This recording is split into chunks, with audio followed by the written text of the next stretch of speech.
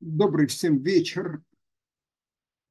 И я сегодня хотел просто начать с того, на чем остановился в прошлый раз, потому что мне показалось, что нужно добавить еще кое-что. И речь пойдет о, значит, э, о кабане при трублении. Значит, в прошлый раз мы сказали, что э, трубление в шафар – это такая молитва без слов, да? И предположили довольно обоснованно, что э, главное состояние, которое должен привести человек, это состояние страха и надежды. Вот где-то вот так. Мне хотелось немножко добавить к этому просто Кроша Шана, чтобы было немножко конкретнее.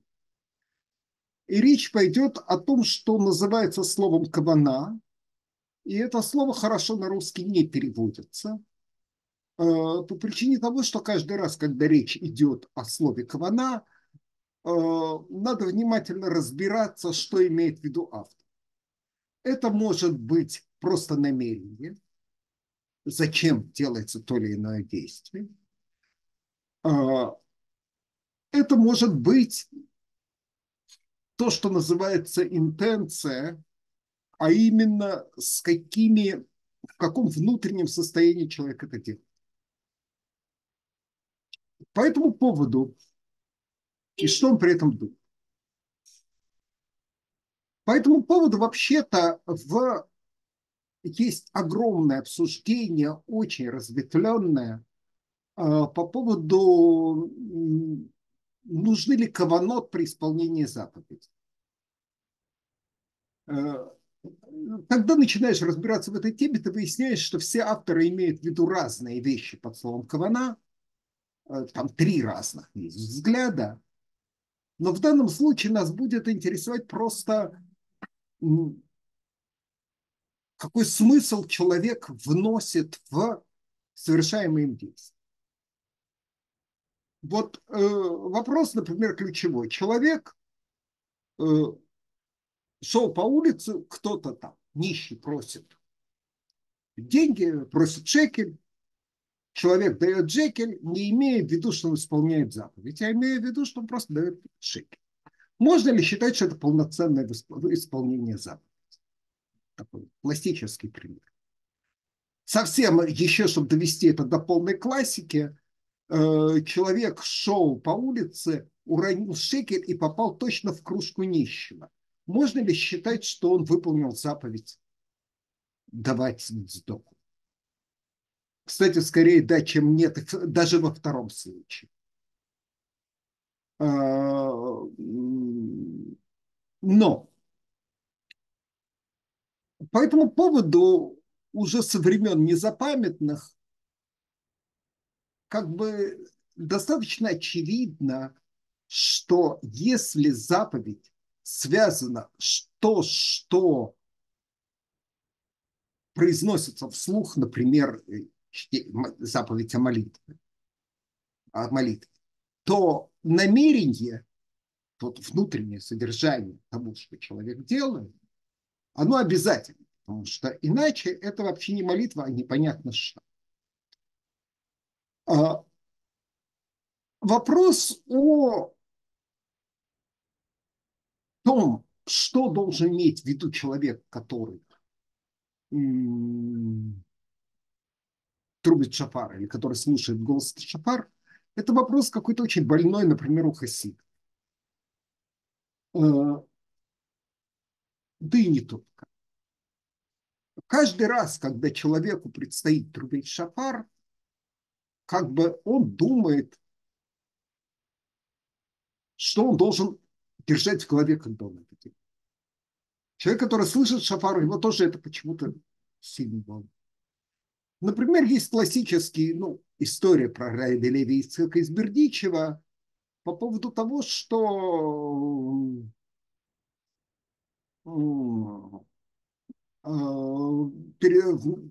утром в Рошашана Раби Левицак стал спрашивать, э, о чем если я сейчас тебе дам шафар, о чем ты будешь думать, когда трубить? Когда будешь трубить? Ну, там один говорит о том, чтобы там, пришел Машех, второй говорит о том, что, э, что сегодня воцарится царь, третий говорит еще что-то в таком же стиле. Четвертый, к которому он обращается, говорит, ты знаешь, меня вообще в данный момент волнует одно. У меня куча дочек, которых надо выдать замуж. И я не знаю, как от этого отвлечься.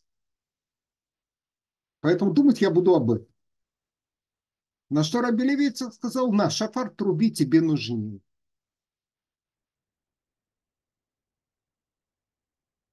Звучит анекдотично, но, но э, в указании к молитвеннику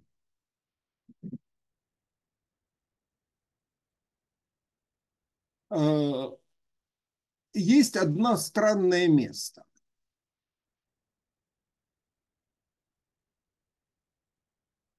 Человек должен приготовиться к трублению в шафар. Точка. Примечание к этому. Кавана Каванат шафар, то есть что человек должен думать при трублении шафар, каждый в соответствии со своим представлением. Пусть приготовится. Вот обратите внимание, каждый в соответствии с лепум шура дилей, в соответствии со своим уровнем. Для того, чтобы проиллюстрировать подобный фокус, э, есть чудеснейшая история в Сефер Хасидим.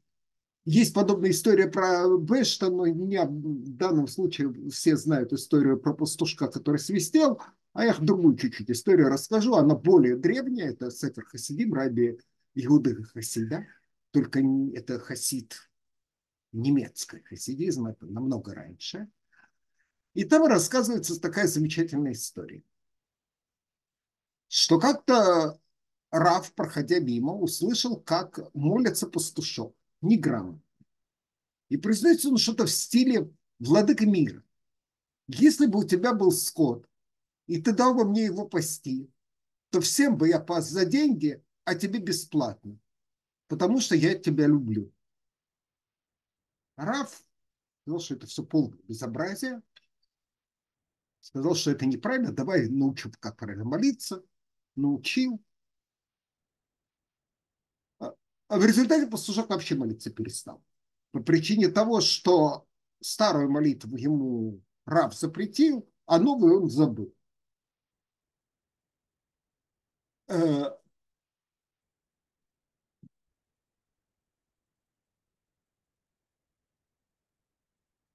Раву явился ночью ангел и велел немедленно отправиться к пастушку и велеть ему молиться по-старому. Вот такая замечательная история, которая, ну вот, ну, во-первых, и молитва пастушка хороша, конечно же. Э, но это по поводу каждой по уровню своему. И тут есть странное правило. Вообще-то в законе о шафаре есть очень странное правило. Тот, кто слушает шафар, как во выражении Мишны, лишь бы его сердце было направлено к небесам. Этого достаточно. Все остальное, кто что приложит к этому делу. Но самый большой анекдот состоит в том, что если человек трудит для себя, не для кого-то другого, а для себя, то ему вообще никакой каваны не нужен. Все будет исполнено просто вот тик-так, тик-так. Это э, зачем нужно э, вот Равину знать Галаху?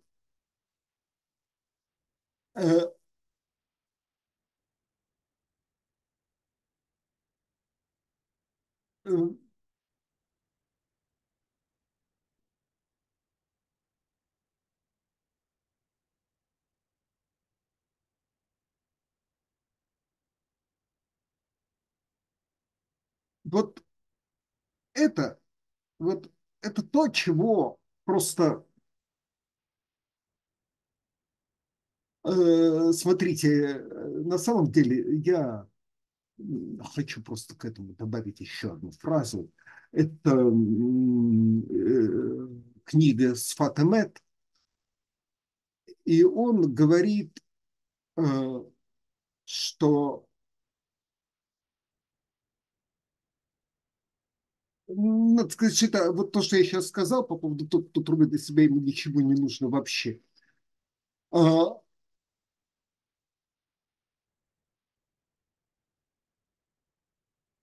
Шафар,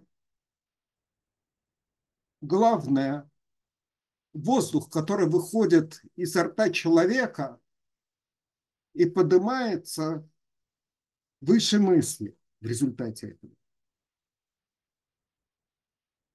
В результате тот, кто слушает, ему нужно больше, чем тому, кто трубит.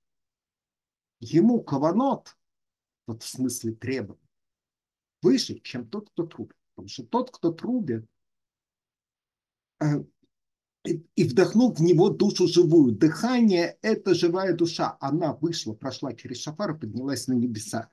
Она выше мысли. Поэтому тот, кто трубит, может вообще ничего в голове не иметь. Он все сделал. А вот тот, кто слушает, вот тот, кто слушает, ему нужно ему, тому, кто слушает, ему нужно либо шамай, ему нужно сердце к небесам. Именно ему. При этом каждый, каждый в той мере, в какой сможет. Лепум шиура делей по устав своего вот щура уровня, своего размера. Каждый. Сколько его влезет в это. И это все, что требуется. Единственное, что требуется. Больше ничего не надо. Все остальное каббалистам, тем, кто умеет такие вещи делать, не для нас. И это требование вот с моей точки зрения, это требование Тары, и об этом, в общем, все хасидские книжки. И вот это я хотел на этом кончить тему Шафара. И перейти ко второй теме, связанные дата, это Йом-Кипур. Э, с Йом-Кипуром ситуация выглядит довольно странно на самом деле. Мы все знаем про Йом-Кипур, и это дата, которую знают в Израиле все, что в день Йом-Кипур – это день поста, день, когда все скапливаются в синагоге, и день молитвы, день раскаяния, и все все знают. Скажем, в большинстве синагог мира, когда рассчитывают, каких она должна быть размеров и сколько человек вместить, э, исходит из того, сколько человек есть в нее должно поместиться в йом Особенно в, в самый первый вечерний.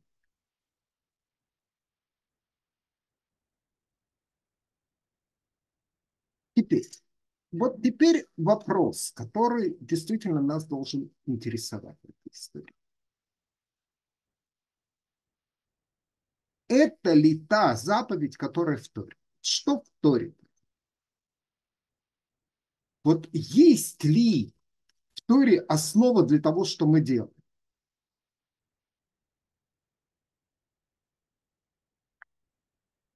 Если вы помните те отрывки, где говорится про йом в Торе, то на самом деле произойдет довольно странная вещь потому что главный отрывок, значит, есть два главных отрывка про йом Один отрывок, он в 16 главе книги Вайкра, книги Левит. А второй отрывок у нас, соответственно, в 26, в 26 главе, точно такая же. Это отрывок о праздниках.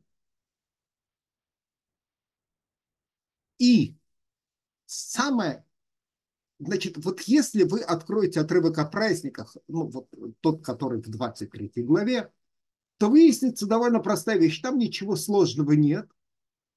Э, десятый день седьмого месяца, день искупления, собрание будет у вас, смиряете души ваши, приносите жертву, никакой работы не делайте – ибо это день искупления, чтобы искупить вас перед Хашемом вашим Богом. И всякая душа, которая не будет смирять, изнурять себя в этот самый день, истребиться из народа своего, будет отсечена от народа своего, и того, кто будет делать такую работу в этот самый день, э, я сделаю так, что он пропадет из народа, никакой работы не делайте, закон вечный во всех поколениях ваших, во всех местах поселения ваших.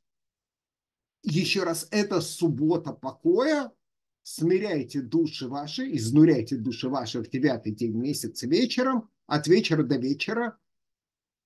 Все. Все э, я хочу сразу, забегая вперед сказать, что э, логику надо понять. Потому что э, у нас же что сказано? Никакой работы не делайте, ибо это Йом-Кипур. Э,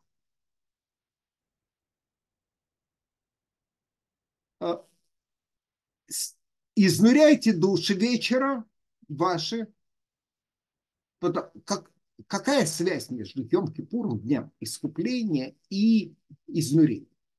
Опять, изнурение – вещь простая. Глагол «она» в Торе – это мучить, это страдать, причинять страдания.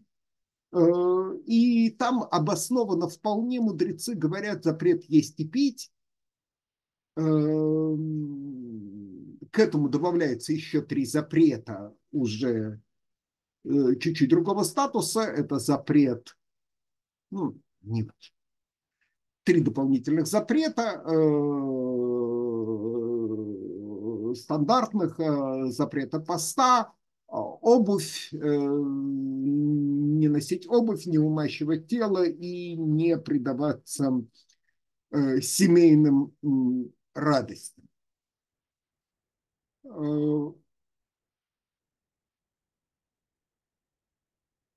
Причем здесь искупление? Вот, вот, вот это должно быть. Почему аргумент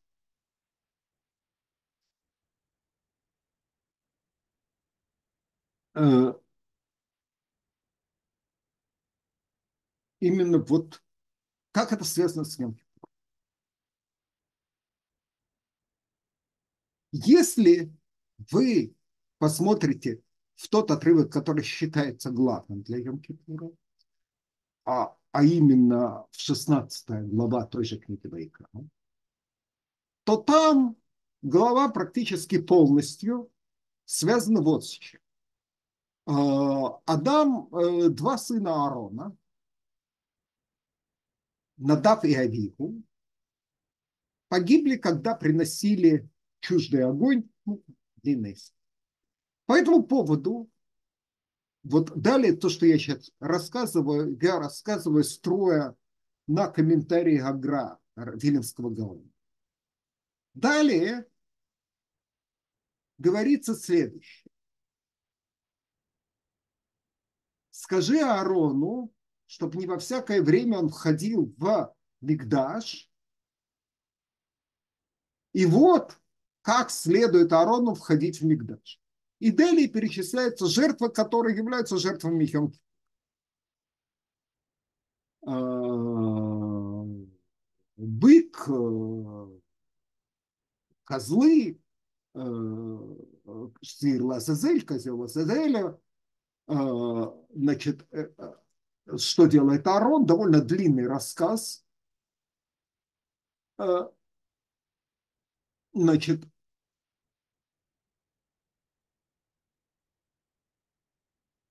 и все.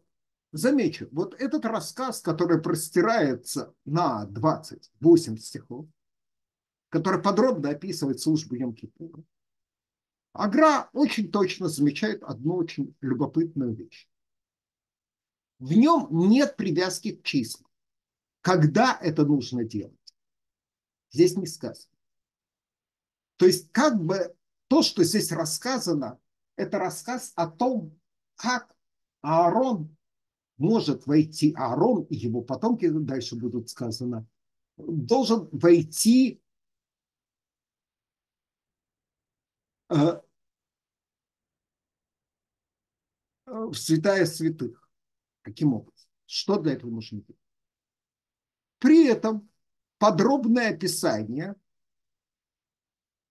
которое, кажется, является не столько условием входа, сколько целью этого прихода в святая святых.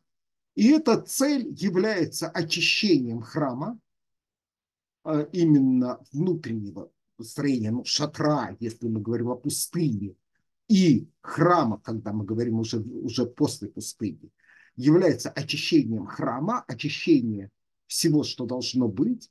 И для этого нужно еще очищение народа. Для этого приносятся специальные жертвы, в том числе жертва Саирла Но все это делает священник. Еще раз.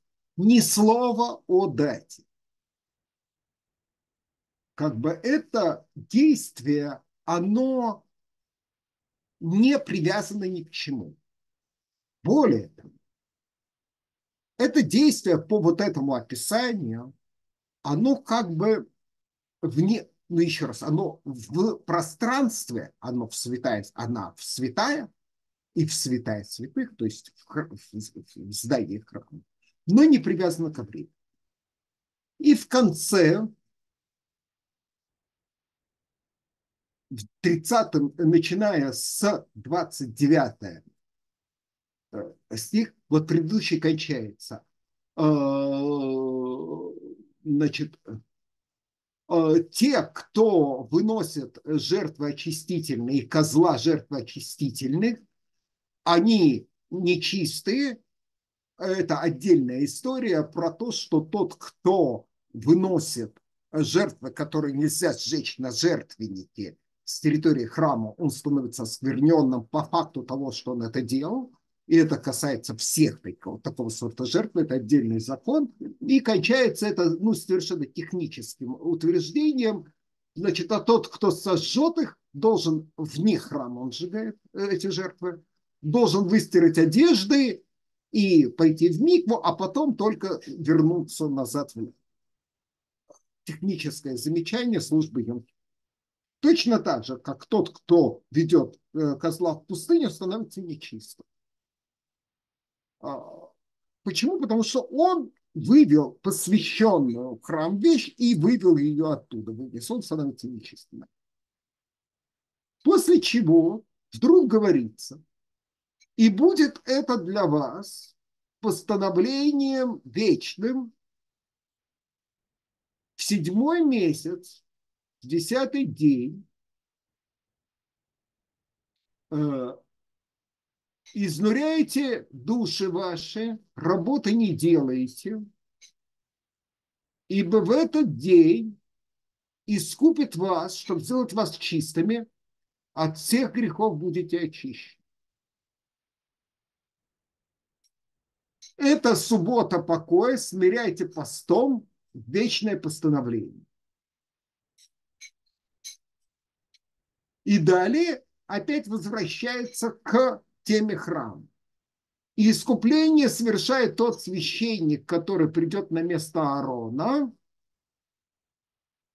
и он искупит святая святых и шатер соборный с жертвенником, и священников, и все собрание искупит. И будет это для вас постановлением вечным, чтобы искупить сынов Израиля от всех грехов их однажды раз в году. Еще раз. У нас четкий разрыв происходит между рассказом о действии священника и действием народа. Вот теперь вот то, что мы говорили в начале про Роша Шана, о том, что существует довольно мощный разрыв между тем, что происходит в храме, и тем, что происходит вне храма в Роша Шана, и трубления, разные трубления, то вот здесь мы убеждаемся в еще большей мере, еще в более полной мере. У нас есть одно действие храмовое, а именно Авода Коэн Гадоль в Йом-Кипур, служба первосвященника в Йом-Кипур, храме, тельца за себя, тельца за народ, а, козлы. И народ, который в, повсюду в это время постится. Вот на самом деле это где-то центральный вопрос, как выглядит вот эта связь. Это действительно довольно сложно, потому что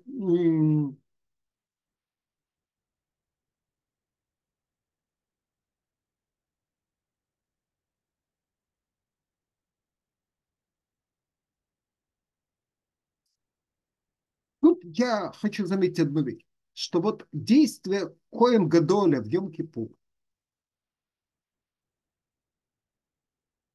давайте я чуть-чуть усилю эту историю.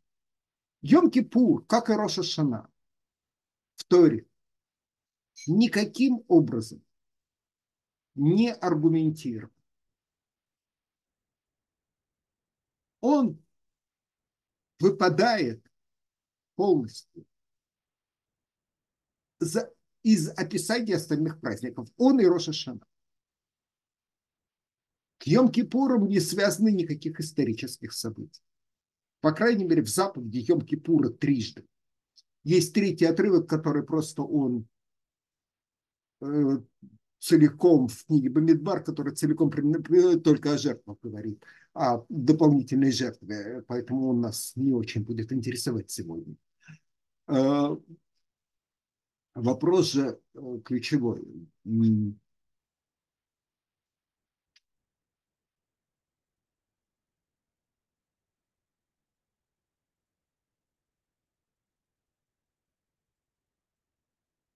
Тара никак, ни разу не дает исторической ссылки. Ни в одном из трех отрывков. Это событие ни с чем не связано. Точно так же Тара не придает этому значения к этому празднику никакого сельскохозяйственного смысла. Ни к ни к. Как бы этот праздник, он сам по себе существует. Он не подвешен к истории. Он не подвешен к сельскохозяйственному циклу. К чему он подвешен? Могу сказать, в обоих отрывках главных, где говорится про Йом-Кипур, а, есть одна фраза, да будет это постановлением вечным, ну, лучше вот отсюда брать, лучше брать вот из этого. Да будет это постановлением вечным,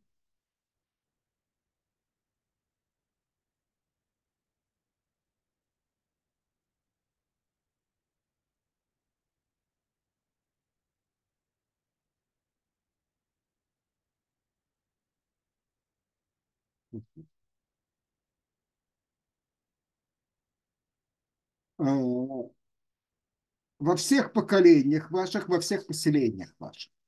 Вот, вот то, что пора проделывать дважды во всех поколениях, во всех поселениях, она дает географическую временную привязку Йом-Кипур. И эта привязка, она не в прошлом и даже не в текущем. Вот в прошлом Песах – исход из Египта, Шавот – дарование Торы, Сукот – что бы это ни значило, или в шатрах я поселил, когда вывел вас из земли египетской, аргумент Торы. А, Песах – день принесения первого, первых плодов ячменя. Шавот – день принесения э, первых плодов пшеницы и еще и Йом Бекурим, начало созревания первых плодов.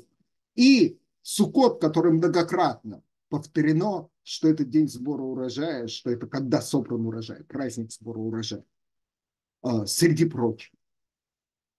Два вот этих вот, две вот таких связки с сельским хозяйством в текущем году, то есть с пространством, и с историей, то есть временем, ни, Йом, ни Рошашан, ни Йом вот этой связки имеет. С маленькой тонкостью, которая совершенно неожиданная, а именно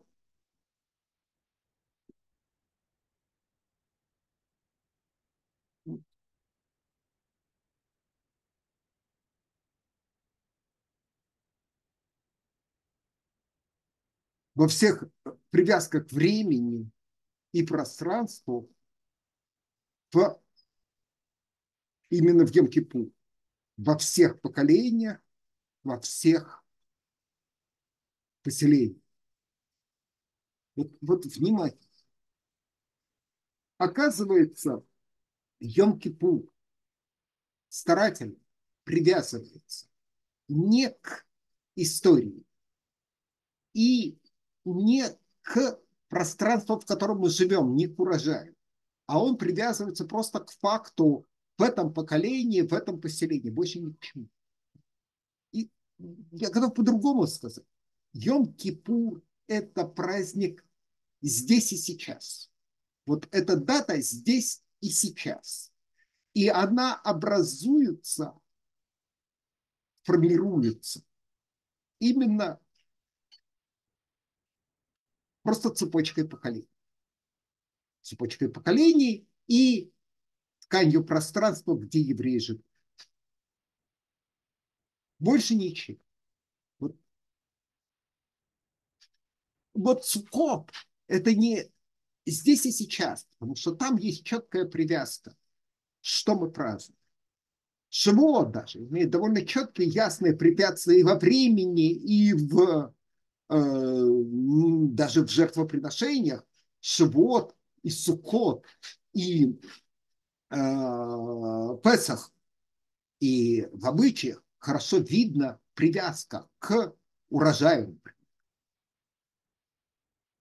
Йом-Кипур и Рошашана этого нет, но в Йом-Кипуре акцент, вот этот акцент во всех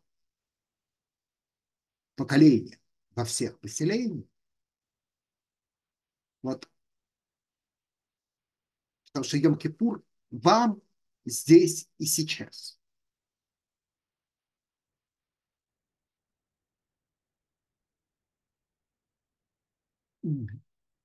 И я хочу еще раз подчеркнуть. Это сказано, вот этот закон вам здесь и сейчас, он про то, что в этот день нельзя делать работу, и в этот день надо, ну, поститься, давайте простоты ради скажем так. В этот день надо поститься. Вот это здесь и сейчас. Замечу, это не про храм, это про нас.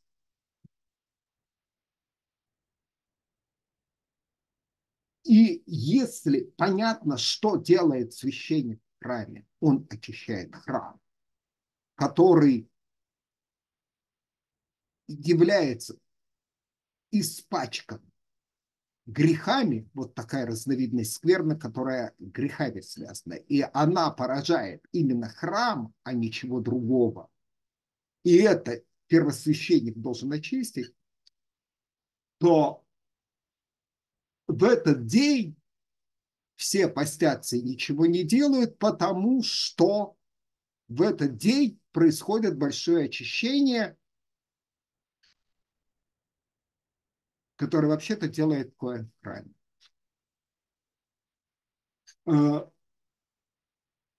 получается, что как бы Коин стоит на плечах всего народа, который в это время занят, во всех поселениях. Он Насколько это важно, я могу сказать. Есть одна вещь, которую про Йом-Кипур, я подозреваю, что нужно знать и догадываться. Если бы не Хазай, если бы не Мишна Мефорешет, если бы не Сифр, если бы не Мидраши, то, читая Тору, я бы сказал, что требование поститься в Йом-Кипур является заповедью Асе, заповедью предписывающей, а не заповедью запрещающей есть и пить. Единственное, что меня останавливает, это единственное, что меня останавливает от этой фразы, это Мишна, где сказано, что есть только две предписывающие заповеди, за которые есть карет, отсечение души. Э, и общее мнение всех э, авторов книг заповедей о том, что существует запрет в этот день, существует запрещающая заповедь есть и пить. При этом честный человек по имени Моше бен Маймон, Рамбам, честно пишет, что запрет от этого проступка, запрет есть и пить, в Торе прямо не сказано. Вот это по поводу того, что если бы я не читал Хазаль, мне бы даже в голову не пришло, что существует такой запрет. Я бы сказал уверенным образом, что пост в Йом-Кипур – это предписывающая заповедь. Тонкость выглядит. То что, про, то, что у нас произошло исключение, вообще-то в Мишне, трактат Критот, первая Мишна, говорится, что есть только две заповеди, за нарушение которых, за неисполнение, извините, которых положено а, отсечение души.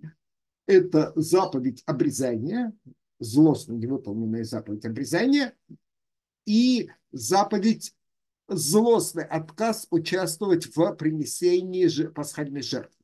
Кто мог, кому это было не очень трудно, и кто был в хорошем состоянии, а, а, ну, в правильном состоянии, они должны, обязаны принести пасхальный жертву. Если человек злостно отказался, он отсекся от народа, он не наш. Вот я бы решил, что заповедь поста в Йом-Кипур, она такая же. Тот, кто в этот день не постится, он отсекает себя от народа. Тогда у нас получится совершенно красивейшая вещь. У нас получается три заповеди, которые надо выполнить, предписывающие заповеди, которые надо выполнить в Индополож, а именно обрезание, Песах и пост йом То, что Хазаль сказали, э, Хазаль на самом деле добрые люди. Когда они сказали, что есть запрет, есть запрет, здесь есть запрещающая заповедь, они просто добрые люди. А, потому что разница очень простая. А, Песах и обрезание, человек, который злостно нарушил, он, ну, тот, кто обрезание можно исправить, сделав обрезание, разумеется. А вот отказ от участия в Песах и отказ от поста в Йом-Кипур злостный, он как бы тогда был бы неискупим. Тот факт, что Хазаль сказали, что э, запрет есть и пить существует в Торе, дает нам право человеку, который это сделал в заблуждении, ел или пил Йом-Кипур, дает ему возможность принести жертву и искупить этот грех. Потому что если бы не это не было, но зато тогда мы хорошо понимаем, что такое интуиция народа. Интуиция народа – это очень просто. Есть три заповеди, которые все евреи, ну не все, подавляющее большинство евреев, как бы далеко они не были от Торы, но выполняют в Израиле железо. Это обрезание, Седр Песах и Йомки. Раз, два, три. Опа. Твилин не надевает, цицит не знает, но обрезание, Песах, Йом-Кипур – это как бы без этого ты не еврей. Вот эти три вещи.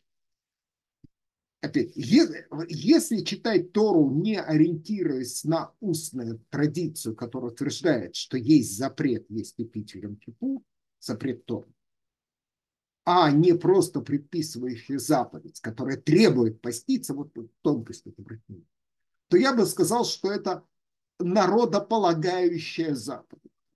Йом-Кипур является таким народополагающей вещью. Если вернуться, Рамбам честно говорит, в тексте Тора найти, что есть запрет Йом-Кипура, нельзя. Кроме там некоторого хитрого рассуждения, он его приводит. Кому интересно, еще раз, книга заповедей запрета 196, книга есть на русском языке. Эм,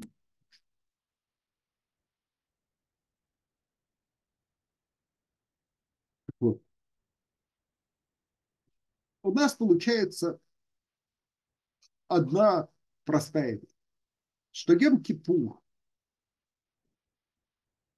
вот теперь,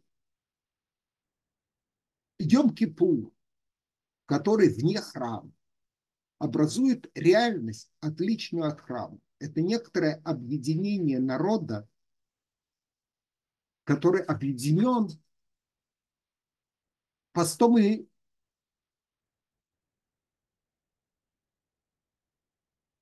постом и тем, что нету работы. Шаббат шаббату. Вопрос для людей, которые не привыкли к некоторым еврейским штучкам. Есть стандартная тема проповеди, особенно у сефардских равов, но ашкеназов оно тоже есть. А связано они с, э, с другой вещью, но идея выглядит следующим образом, что пост Йом-Кипура, он не таков, как пост, скажем, Тешеба. Пост Тешеба нужен для углубления скорби. Э, пост, ну и остальных четырех постов, и три малых поста. А, значит, он нужен для скорби, углубления скорби, углубления несчастья.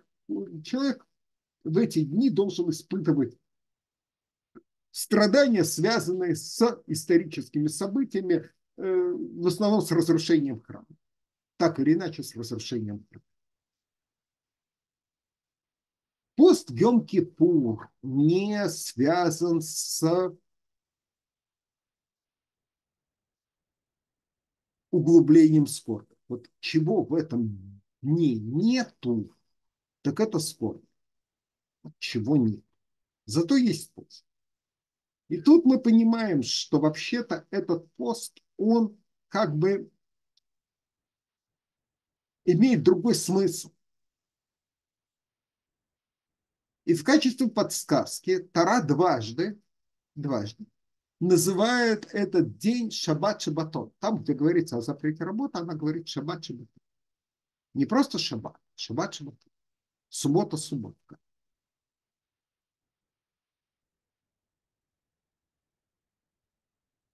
Обычно, когда говорится про пост Гам-Кипура, то стандарт выглядит так, что как бы в этот день требования к народу Израиля подняться до уровня ангелов, которым, как известно, еды не нужно.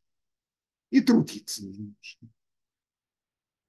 Вот в некотором смысле любая суббота возвращает нас к первой субботе, да, прямо так как Всевышний в этот день как бы не вмешивался в дела этого мира, шаббат. Шаббат – это шабашик по-русски нужный глагол, вот если как глагол он используется, а он используется в описании первой, первой субботы. Если как глагол, то по-русски по шабашу. Бог кончил свою работу и по шабашу. То есть кончай работу.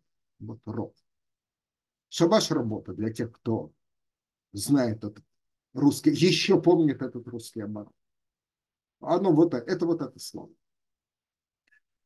А, и суббота, на самом деле, смысл любой субботы, это именно мы не вмешиваемся в дела этого мира. Йом-Кипур в этом отношении делает следующий шаг. Мы не просто не вмешиваемся в эти дела этого мира. Мы вообще теперь не относимся к этому миру. Вот это важно. То есть эта суббота еще более обратная, она еще более обнуление по отношению к этому миру, это обнуление следующего уровня. Вот идет довольно любопытная вещь. В храме первосвященник проводит очистку, чтобы запустить храм на начинающийся год. Идет мощное очищение храма. В это время весь народ Израиля обнуляется по отношению к текущему миру. Он пребывает в состоянии безделия и в состоянии теперь обратного еще и даже не ест по причине того, что он вообще к этому миру больше не относится.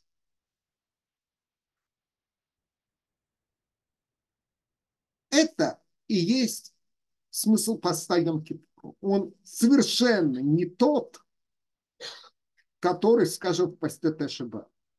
В пост Тешеба я не ем и страдаю.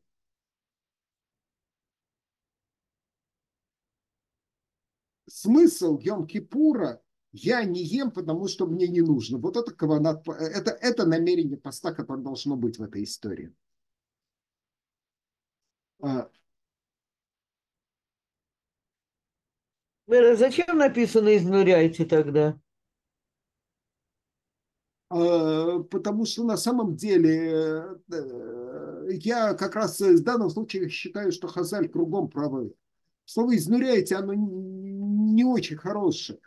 Э, я не знаю. Оно употреблено. Э, Но все переводчики, а, анот это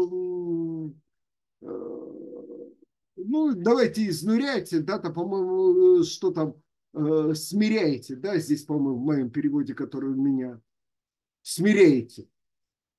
И я понимаю, почему автор хочет смиряйте, он, это перевод, который передо мной он сделан под Гнезру, и здесь, к слову, она, он прикрепляет корень не страдания, а, как в слове «ания», да, Э, не страдание, а слово анва, э, которое с вавом, э, которое неудачно переводят скромность, но ну, смиренность его переводят смиренный духом, анаф нефиш, да, смиренный духом, как у пророка.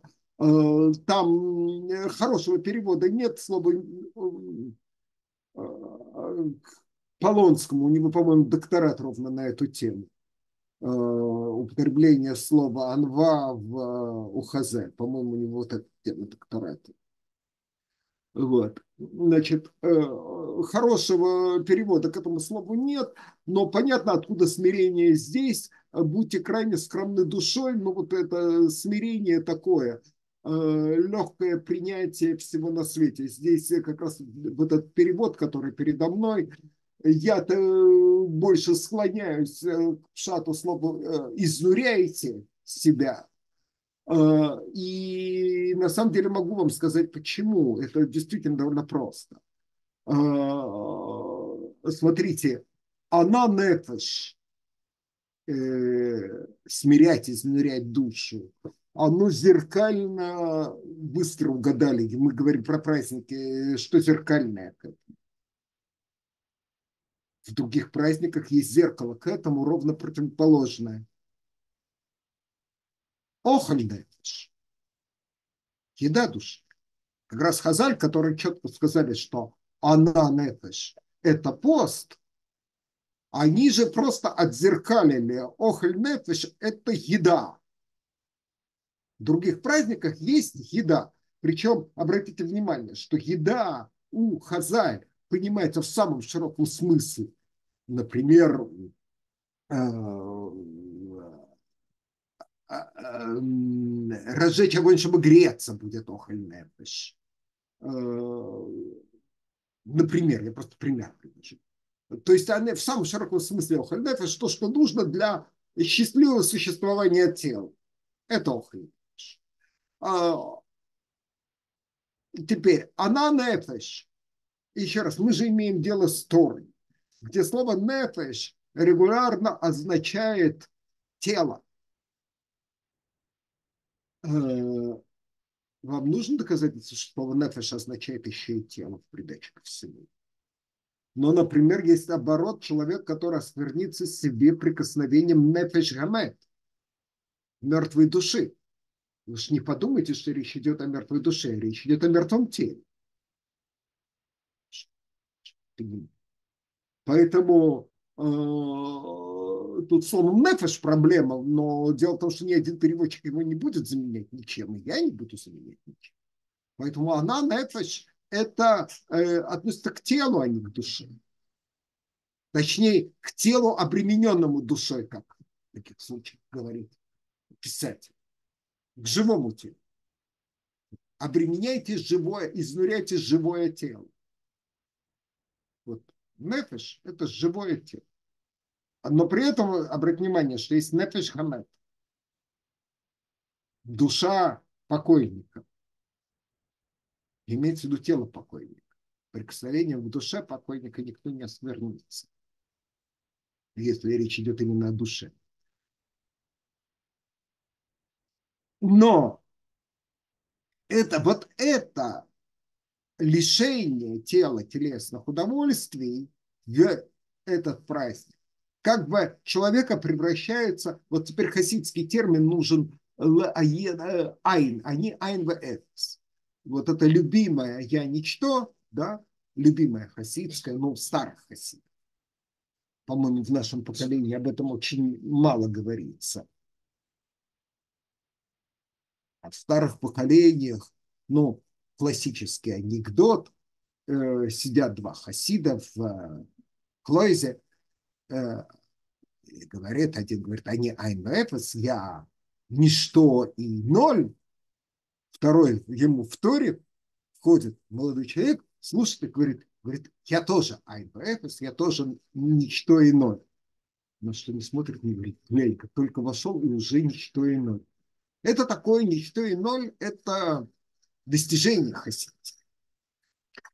Так вот, Йом-Кипур, как раз вот это хасидское достижение, некоторое высшее, стать э, ничем на фоне Всевышнего, оно предписано всему народу вообще.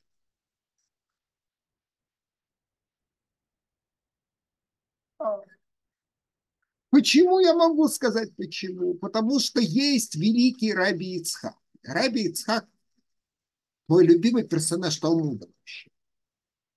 Ну, во-первых, за хорошее чувство юмора, во-вторых, за, сказать, за тонкие понимания. Сказал Раби Ицхак, почему трубят только им длинным звуком в Роша Шана? Отвечает Раби Ицхак Почему трубят? Милостивый сказал, трубите. Вот мы и трубим.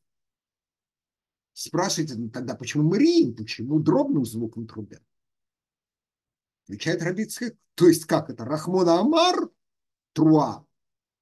Так вот мы и трубим. Это, это Рабицкий. Но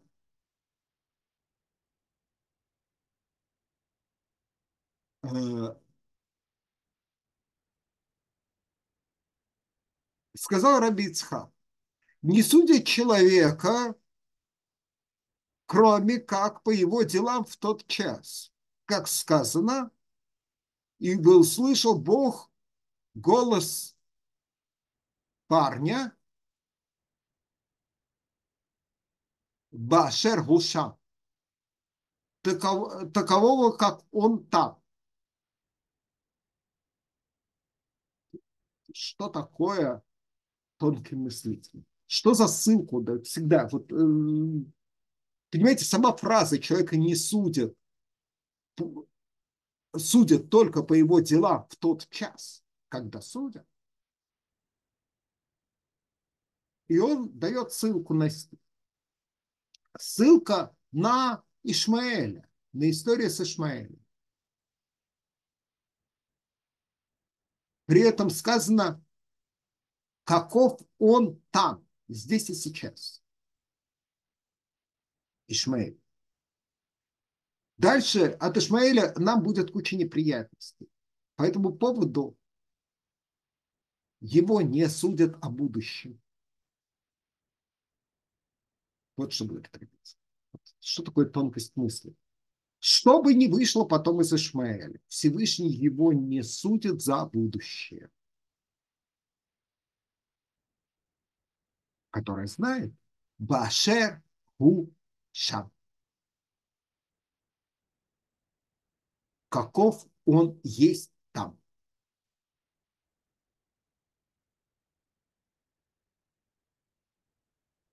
Раби говорит это именно в связи с судными днями. И говорит э, с по-моему. Ну, с. Поводу этого места. Судят за здесь и сейчас не за прошлое, а за то, как это прошлое отражается на сейчас, и не за будущее, а за то, что есть настоящее. То есть суд, как бы, он, Раби концентрирует на текущем состоянии здесь и сейчас. При этом человек, да, он сложен из событий прошлого и предрекает события будущего, но предречение за то, что будет в будущем, его не судят, потому что если бы судили за будущее, то сколько бы народу умерли бы в младенчестве, а, но даже и не за прошлое, а за то прошлое, которое сформировано и является основой данного существа здесь и сейчас. Это Раби Вот это Талмуд Рошашана, 16 лист. А, за что я его люблю? Вот, вот, вот за такие номера. Ну, за фразу «Зачем трубить?» Всевышний сказал трубить, вот мы и трубим. Это, это гениально абсолютно. А, то есть, ну, очень по-хасидски. А, а, Йом-Кипур в этом смысле, в смысле суда. Вот ежели человек сможет себя обнулить от внешнего мира, причем на уровне забот и на уровне пропитания. Потому что, как известно, главная причина небрежности в службе Всевышнего – это забота о пропитании что я сейчас сказал, это такое, ну, симхабуним, скажем, раби симхабуним. А, в Йом-Кипур как бы никаких таких забот нет. Вообще никаких забот. День полной беззаботности. Чтобы не было, чтобы не было, чтобы не казалось, что я в данном случае э, фантазирую. Есть совершенно фантастическая мишна, которую приводят регулярно.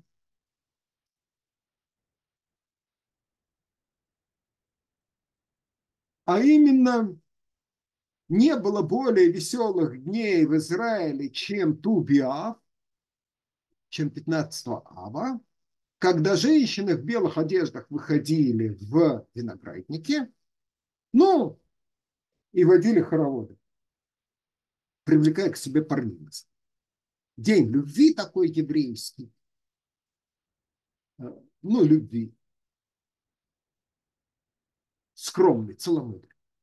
При этом, чтобы не стыдились друг друга, было принято одалживать одежду у подруг, Большинство народу, которые это рассказывают в проповеди на Тубиав, на 15 ава, на День любви, забывают, что в Мишне полностью текст не было дней веселее в Израиле, чем Йом Кипур и Ту Йом Кипур – это женщины в белых одеждах, девушки, причем, кстати, там девушки, не женщины, а девушки, в белых одеждах идут водить хороводы, надев платье подруг, чтобы никому не было стыдно. Было принято брать в долг в, в этот день наряды. Кстати, потрясающей красоты обычай, по-моему. Э, просто именно вот такой красивый, неожиданный, красивый. Есть что-то в этом. Э, чтобы никому не было, чтобы нельзя было обидеть, э, у тебя платье не то. Это не мое платье. На сегодня ни на ком моего платья, нашего платья нет. Это чужое платье. Действительно, потрясающий обычай для девичьих гуляний. Э, просто ну, вот такой необычный. Но Йом Кипур, он вот этот еще.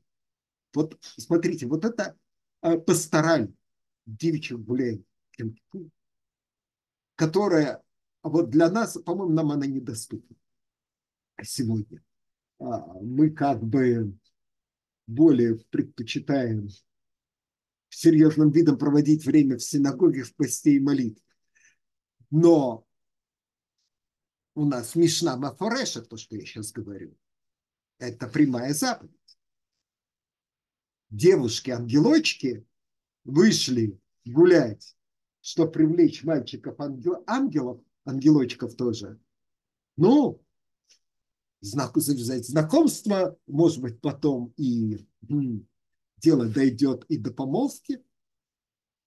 Но это тоже вот эта пасторальная сторона, которую чаще всего забывают, кстати, она здесь есть. И это как раз некоторое отражение день без забот без забот о хлебе, без забот о пропитании. И не день суда, а день суда он прошел. А Йом-Кипур, день очищения. День очищения. Когда все должны после этого дня, да, а, э, искупление Йом-Кипура происходит в момент закрытия врат, а, в момент, когда Йом-Кипур кончается. Это, это Галах. Не посреди дня, а в самом конце дня.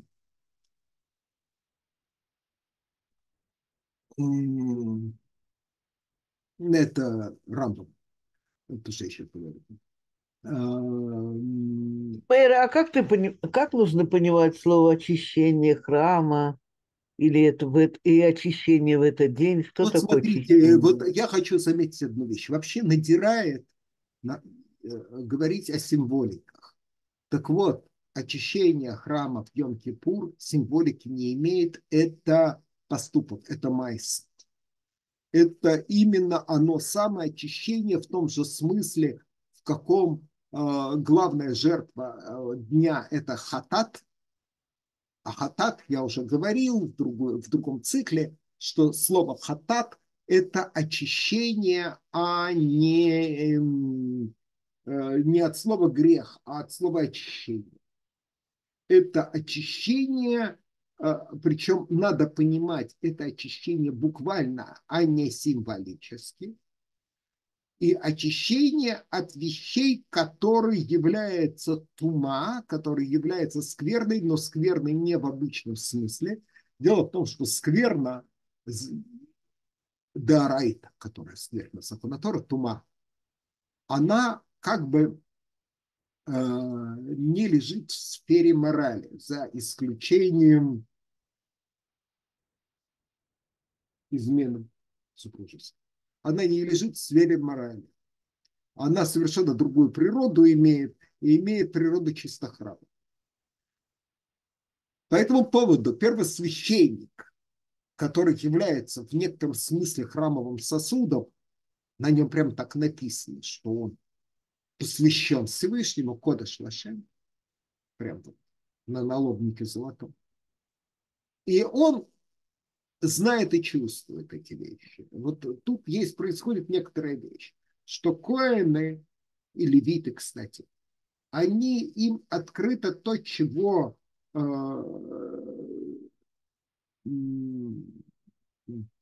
людям вроде нас доступно приблизительно как слону великое искусство. Мы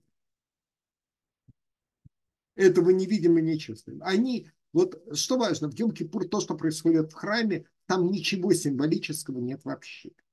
Попытка объяснять все это символами, это неправильно. Там никакой символики нет. Там идет просто именно работа в классическом смысле этого слова. Идет очищение храма. От чего? От грехов, точнее от скверны, которая происходит от грехов народа Израиля и которая происходит, которая проходит через храм. Вот как все молитвы теоретически, читайте Рамбама, я не буду рассказывать просто потому, что здесь не время, не место и не та публика, которой надо это рассказывать. Что как все молитвы проходят через храм, вот это такой канал и поднимаются вверх, например, заповедь, если вы опять читаете того же Рамбама, заповедь молиться, что заповедь молиться через, по направлению к храму, обратите внимание на эту мысль. Хра, заповедь молиться по направлению к храму. В буквальном смысле этого слова, не в смысле повернуться лицом к храму, как мы это делаем, но вот да, э, это, как жители Малая Думи поворачиваются не в ту сторону, в которую там европейцы нормальные. Э, ну, понятно, как другие жители Израиля, как жители Тель-Авива, они смотрят, э, жители моего города смотрят в противоположную сторону по отношению к жителям Тель-Авива. Просто храм между нами. Вот. Но в данном случае рабам имеет в виду нет, что направление к храму, как бы имея в виду, что молитва пройдет через храм. Вот точно так же грехи, они тоже в некотором смысле проходят через храм. Э, и Йом-Кипур – это момент, когда это надо очистить. И этим занимается Коэн Гадот. А вот весь основной, остальной народ в это время как бы тоже происходит внутренняя очистка каждого. Вот, вот привязка выглядит следующим образом. Каждый, даже вот, вот теперь сегодня, даже когда храма нет, вроде бы аргумент, не делайте никакую работу, потому что в этот день вас искупает. Кто? Коин. Более того, подлежащее вот в, 20, в 17 главе э, кто искупает коин, там подразумеваем, там, он прямо не сказано, но оно подразумевается. А, в это время весь народ как бы тоже обнуляется. Вот э, будь я программистом, то я бы сказал, что происходит полная перезагрузка аппаратуры. Причем в храме этим занимается системщик, который называется Коэн Гадоль. Меня, извините, за вольности. А вот каждый человек во всех поколениях и во всех поселениях перезапускается в этот день, это день перезапуска системы. И это смысл Йом-Кипура Деорей. И это смысл Йом-Кипура именно по закону Тора. Я, я, я, конечно, извиняюсь, что прибегаю к таким аналогам. Но это и есть Йом-Кипур история. Перезапуск. По этому поводу обнулиться, чтобы провести перезапуск, нужно начать с того, чтобы обнулиться. Это и есть Йом-Кипур. А, и это и есть Йом-Кипур, который Бегвулын, который в тех местах, где мы живем, в том поколении, в котором мы живем. И это именно тот самый Йом-Кипур, который не связан с конкретным временем в прошлом. И с точки зрения Гвулин, с точки зрения вне храма, не связан ни с каким пространством, кроме того, где мы в данный момент находимся во всех поселениях и во всех поколениях. Вот обратите внимание, что вот это обнуление, оно и есть смысл йом э, Пересмотр отношений с Богом, ну, естественно, в лучшую сторону.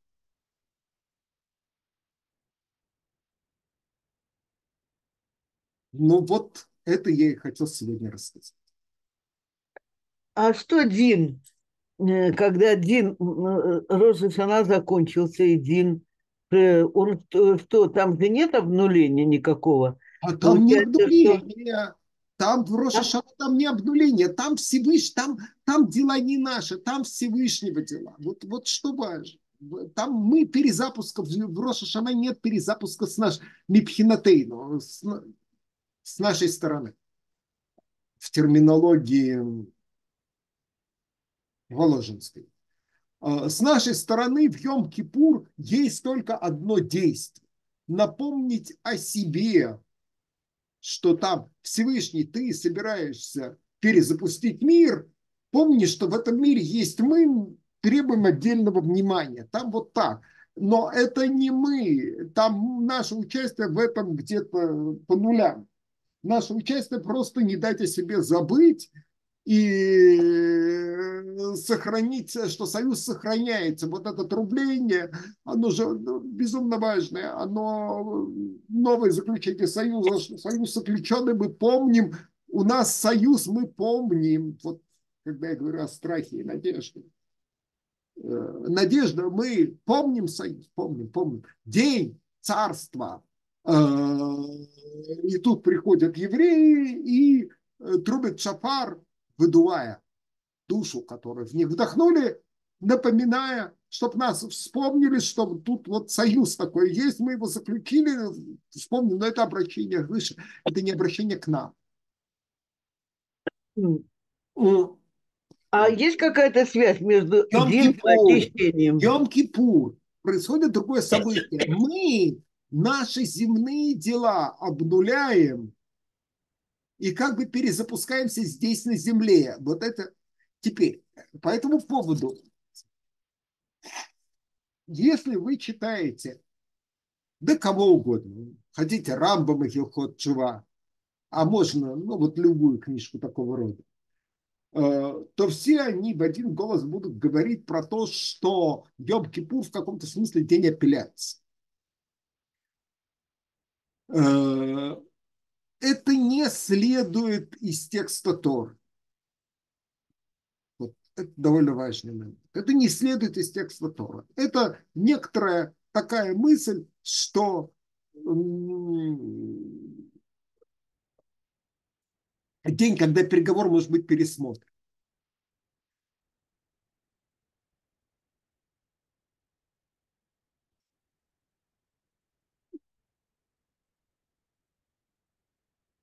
Э, Мир, если можно, э, Элочка как-то молчит, поэтому я...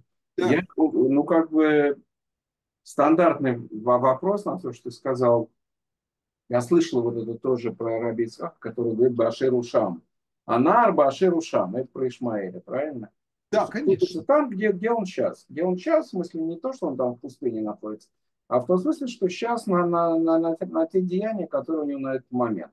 Несмотря угу. на то, что известно, да, Ишмаэль, как бы, я не знаю, э, э, рабство в Египте и так дальше, ну и вообще как бы все, что связано с отношением евреев с арабами. Но вот на это стандартно э, приводится э, параллель, который антипод, да, это Бен Суреру Муре. Если это тебя сильно уводит, тогда как бы, ну, не знаю, не, не сильно. А, ну вот непонятно, да? Это, сейчас последняя, еще, еще одну фразу и все.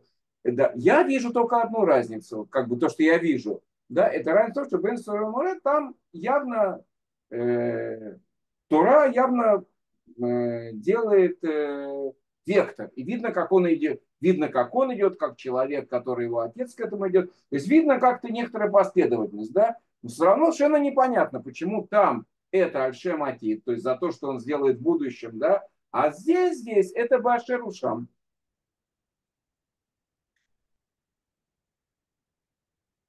Э, я могу сказать, эта тема, она всегда поднимается в Бен Суреру Марер, и что он судится за будущее, э, при этом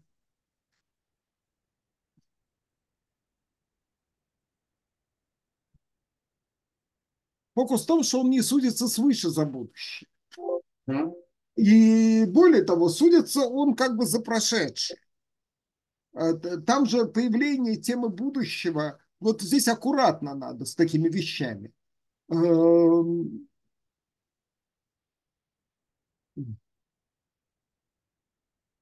то, что Бен Суреро Морера э, судится не за будущее, а за настоящее, есть простая иллюстрация.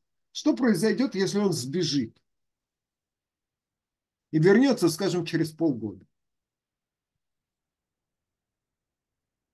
Ответ, а ничего, пойдет домой. Все, время суда прошло. Вот этот аргумент, что его судят за будущее, он как бы какое-то моральное оправдание тому, что происходит. Потому что э, закон Бен Сореру Море противоречит ключевому некоторому правилу Галахи по поводу того, что вообще малолетних не судят.